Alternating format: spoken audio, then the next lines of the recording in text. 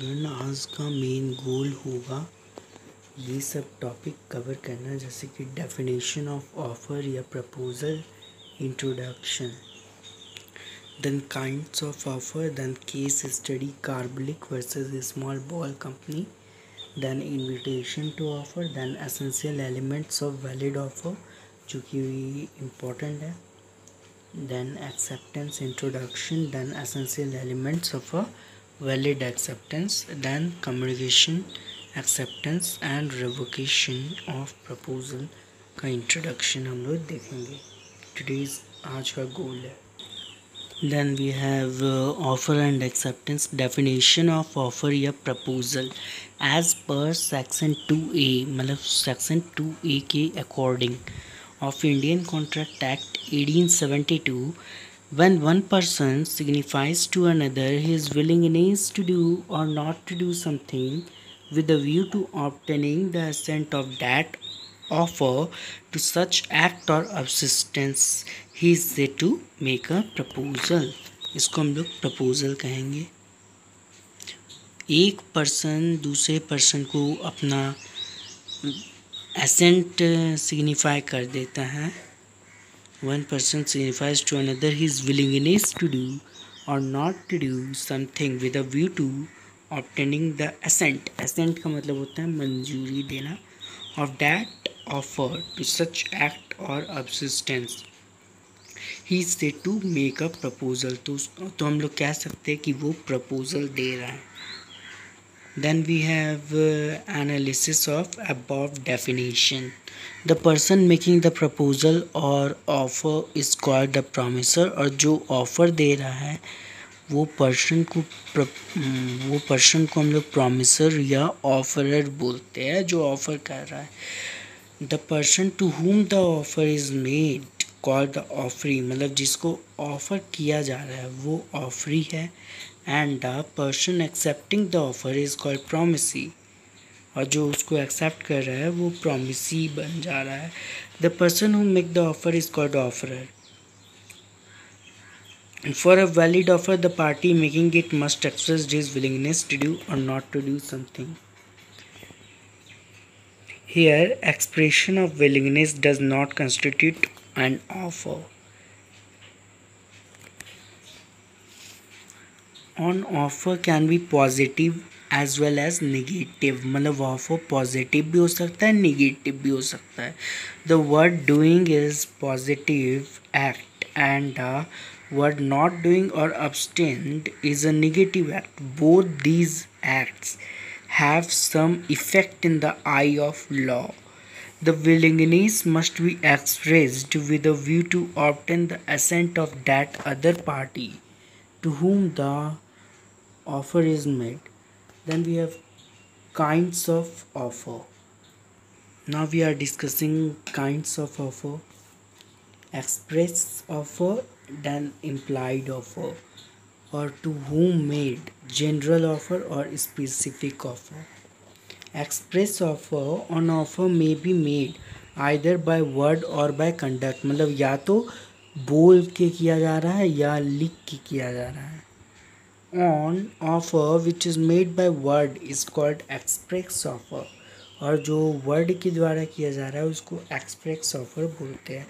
And an offer which is made by conduct उसको हम लोग बोलते हैं इम्प्लाइड ऑफ़र कंडक्ट के द्वारा ऑफ़र कैन बी स्पेसिफिक और जनरल मतलब ऑफ़र स्पेसिफिक भी हो सकता है और जनरल भी हो सकता है a specific offer is the one which is made to a specific person or a group of person. It can be accepted only by the person or group of person to whom the offer is made.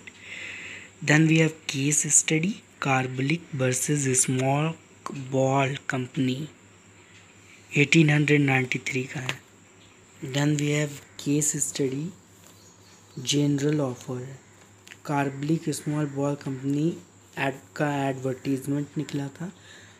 Smoke ball daily newspaper तो influenza protection claim मतलब जिसको influenza होगा ये company बोला था कि जिसको influenza होगा, उसको इन्फ्लुएंजा प्रोटेक्शन क्लेम दिया जाएगा हंड्रेड पॉन्ड का। वो भी सेपरेट अकाउंट डिपॉजिट करके। तो मिसेस कार्लिक जो है, वो परचेज करती है और उसको यूज़ करती है एज पर द डायरेक्शन तो यहाँ पर कोर्ट का जजमेंट है कि Mrs Carlill won the case वो मतलब केस जीत जाती है। Because it is a general offer कोई भी मतलब उसको एक्सेप्ट कर सकता है। और स्पेसिफिक ऑफ़र मतलब जिसको बोला जा रहा है, सिर्फ़ वही उसको एक्सेप्ट कर सकता है।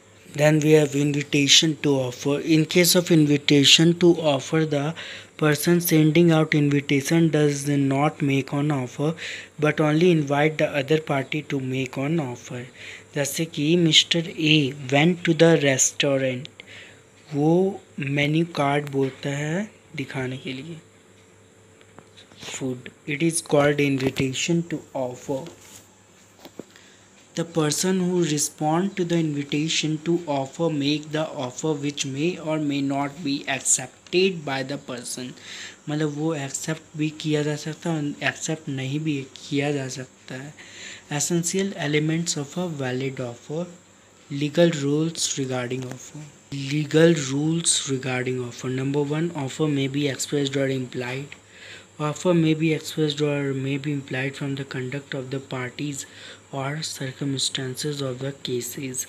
Offer may be specific or general. Specific offer A specific offer is the one which is made to a specific person or group of person. General offer or general offer is an offer which is made to the public in general. Anyone can accept the offer.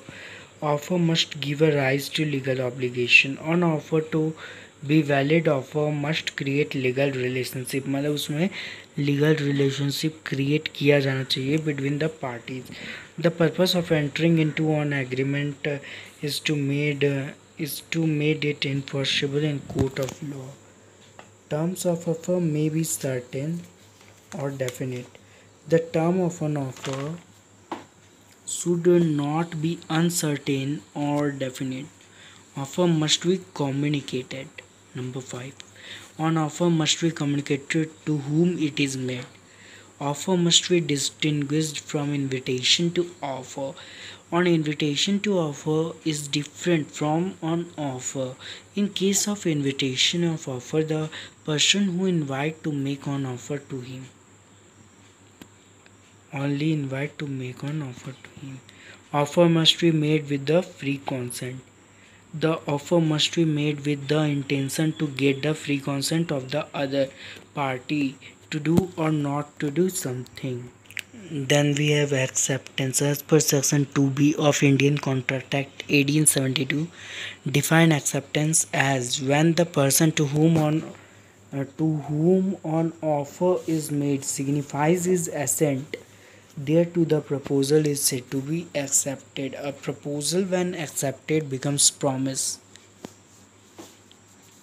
Essential elements of a valid acceptance.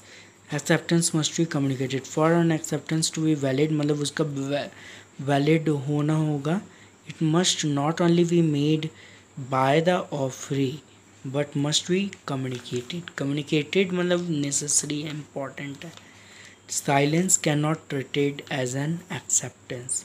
Acceptance must be absolute and unconditional. उसमें कोई condition नहीं होना चाहिए. A valid contract arises only if the acceptance is absolute and unconditional.